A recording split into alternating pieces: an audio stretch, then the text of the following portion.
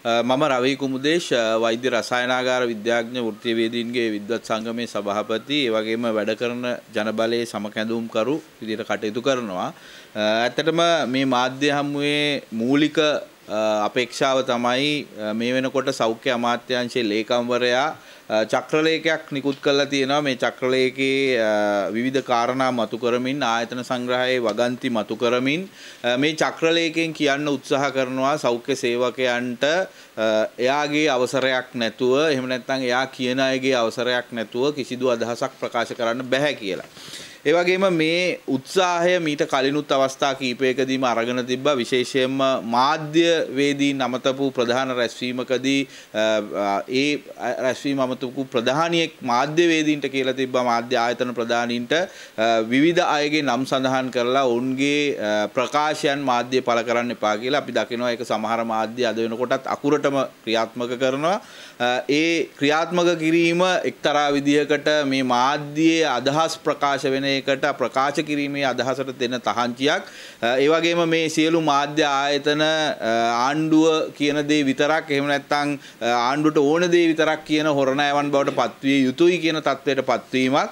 ඒ වගේම එතනින් නැවතෙන්නේ නැතුව මේ අදහස සමාජ මාධ්‍ය තුල ගමන් කිරීම වැළැක්වීම සඳහා විශාල උත්සාහයක් විදිහට අපි දකිනවා මේක මේ මේ ආයතන සංග්‍රහයේ තියෙන මේ වගන්ති සෞඛ්‍ය සේවකයන්ට අලුතෙන් මතක් කරලා දෙන්නට ඕනේ මේ මේ වගන්ති අවුරුදු ගාණක් තිස්සේ ආයතන සංග්‍රහය තියෙන ඒවා. ඉතින් මේ වෙලාවේ නැවත වතාවක් මේක මතක් කරන්නෙම මේ අදහස් ප්‍රකාශ කිරීමේ අයිතියට යම් තහංචියක් දමලා කොවිඩ් පාලනය කරන්න පුළුවන්ද කියන එකට ගන්න උත්සාහයක්. ඉතින් අපිට කියන්න තියෙන්නේ සෞඛ්‍ය අමාත්‍යාංශයට විශේෂයෙන්ම අදහස් ප්‍රකාශ වීම වැළැක්ුණා කියලා මිනිස්සු ඇත්ත අදහස් එළියට ගේන එක නැවැත්තුවයි කියලා කොවිඩ් පාලනය කරන්න බෑ. කොවිඩ් මර්ධනය කරන්න නම් ඇත්තට අපි මූණ දෙන්නට ඕනේ. ඒ වගේම අපි සෞඛ්‍ය ලේකම්වරයාට සහ සෞඛ්‍ය අමාත්‍යාංශයට නිතරම මතක් කරන්නේ මේ ක්‍රියාන්විතයේ තියෙන වගවීම පිළිබඳව කාරණාව. අපි පැහැදිලිවම කියනවා අපේ රටේ සෞඛ්‍ය කාර්ය මණ්ඩලය ගත්තාම බිම් මට්ටමේ ඉන්න කනිෂ්ඨ කාර්ය මණ්ඩලයේ සිට ඉහළම ඉන්න වෛද්‍යවරයා දක්වා සියලු දෙනා තමන්ගේ කාර්යයන් අපි නොපිරිහෙලා ඉටු කරලා තියෙනවා. අද වෙනකොට කොහෙවත් ජනතාවගේ චෝදනාවක් නැහැ. ඔවුන් අඩුපාඩුවකට වැඩක් කරා. ඔවුන්ගේ ක්‍රියාකාරීත්වය දාලා පැත්තකට වුණා. එහෙම නැත්නම් ඔවුන් සේවයට ආවේ නැහැ කියලා කොහෙවත් චෝදනාවක් නැහැ. ඔවුන් තමන්ට තියෙන පහසුකම් ගැන නොසලකා, තමන් පිළිබඳව නොසලකා හැරීම් නොසලකා, තමන්ට තියෙන අතිශය සීමා සහිත දේවල් පාවිච්චි කරලා තමන්ගේ වගකීම ස්වෙච්ඡාවෙන් කරන කරන තත්ත්වයට පත් වෙලා තියෙනවා ඒ වගකීම ඉෂ්ට කරලා තියෙනවා. එහෙනම් ඇයි මේ මෙවැනි කාර්ය මණ්ඩලයක් දක්වන අදහස් වාරණය කරන්න හදන්නේ?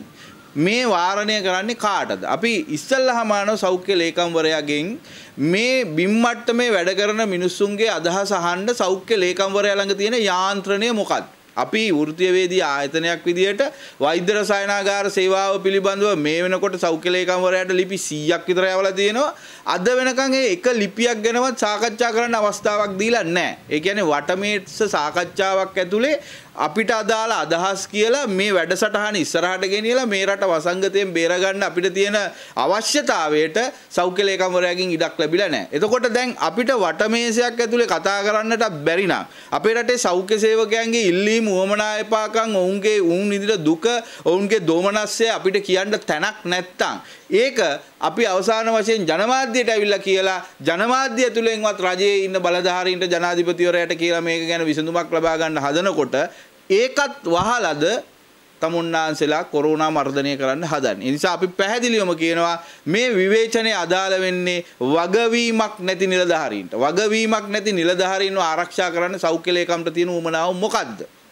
අපි හැම වෙලාවෙම අපි විවේචනය කරන්නේ මේ වගවීම පිළිබඳව කාරණාව මොකද සෞඛ්‍ය පරිපාලනය කියන්නේ මේ රටේ මිනිස්සුන්ගේ බදු මුදලෙන් නඩත්තු වෙන ලංකාවේ උපරිම සැප සම්පත් තියෙන දෙන්න ඕනේ වරප්‍රසාද සියල්ල දීලා තියෙන අධ්‍යාපනය අවසාන කඩයිම දක්වා නොමිලේ ලබාගෙන තියෙන රජයේ මිනිසුන්ගේ මහ ජනතාවගේ බදු මුදලින් ඉහළම අධ්‍යාපනයක් ලබපු විදේශවල ගිහිල්ලා අතිශය විශාල පුහුණුවීම් කරපු කණ්ඩායමක් ඉන්නේ. එතකොට ඒ කණ්ඩායම මේ වෙලාවේ නිවැරදිව මේක පාලනය කරන්න වග වෙන්න ඕනේ. ඒකේ වැරද්දක් තියෙනවා නම් ඒ වැරද්ද පෙන්නලා දෙන්න අනිත් මිනිසුන්ට අයිතියක් තියෙන්නට ඕනේ. මොකද ඒක පෙන්නලා දෙන්නේ සෞඛ්‍ය සේවකයෙක් විදිහට බැරි වුණත්, වෘත්තීය සමිතියක් විදිහට බැරි වුණත් මේ රටේ මහජනතාවගේ කෙනෙක් විදිහට අපිට අයිතියක් තියෙන්න ඕනේ. අපේ බදු මුදලෙන් නඩත්තු වෙන නිලධාරියෙක් Tamange වගවීම පැහැර හරිනවා නම් ඒක ගැන කියලා දෙන්න. නිසා අපි නිතරම අහනවා සෞඛ්‍ය අමාත්‍යාංශයෙන් ඒගොල්ලෝ කතා කරන්නේ කරන ඒවා ගැන. හැබැයි නොකිරීම නිසා රටට සිද්ධ වෙන දේවල් ගැන කතා කරන්නේ නැද්ද අපි? කවුද ඒවා ගැන කතා කරන්නේ? අපි මේ කියන දේවල් නොකිරීම නිසා කොච්චර දේවල් රටට වෙලා තියෙනවද කියන එක.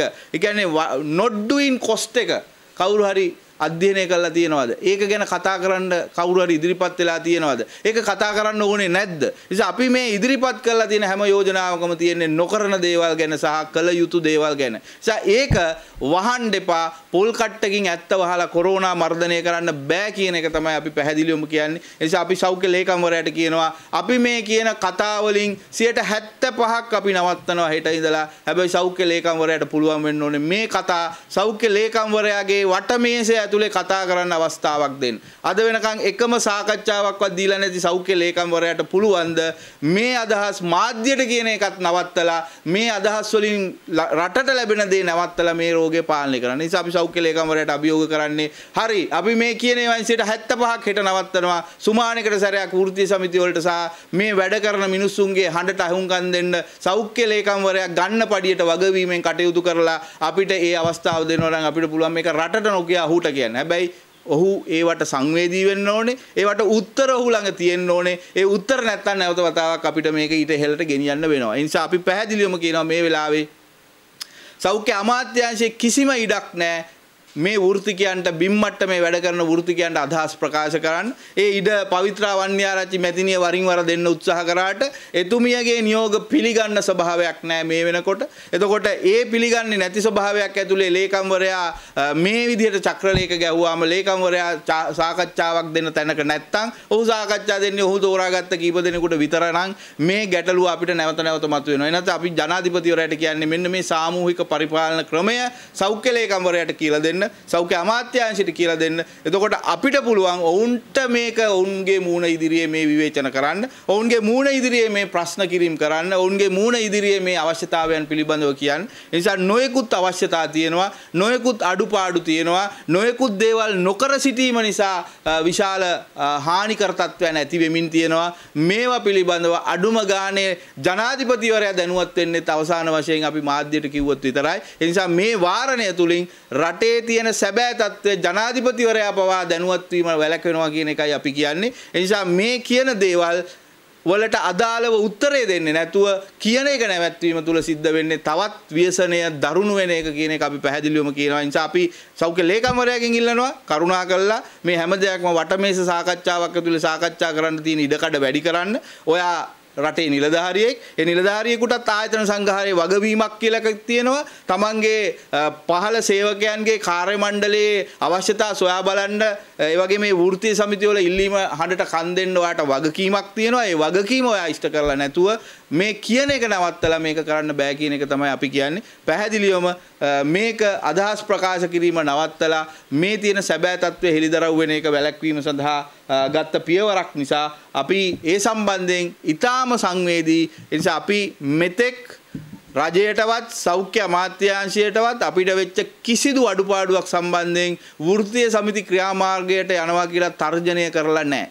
ඒ නිසා අපි සෞඛ්‍ය අමාත්‍යාංශයට මතක් කරලා හිටිනවා. මේ වෙලාවේ මෙවැනි කෙනිත්තිලි කරලා අපිව වෘත්තීය සමිති ක්‍රියාමාර්ග වලට ඇදලා දාන්න එපා. කරුණා කරලා මේ කොනිත්තන ලියුම් අයින් කරගන්න. අපිටත් ඕනේ මේ රටේ මේ වසංගතය පාලනය කරලා මේ රට නැවත කෙලින් කරවන්න. ඒකට තමයි ලංකාවේ ඉන්න සියලු සෞඛ්‍ය සේවකයෝ වැඩ කරන්නේ. ඒ විඳා කොනිත්තලා අපිව නිකන් ක්‍රියාමාර්ග වලට වැඩ වර්ධන වලට ඇදලා දාන්න එපා. එහෙම ඇදලා දැම්මොත් ඒකේ වගකීම මේ ලිපිනිකුත් කරන නිලධාරීන් බාර ගන්නට ඕනේ කියන එකත් අපි අවධාරණය කරනවා.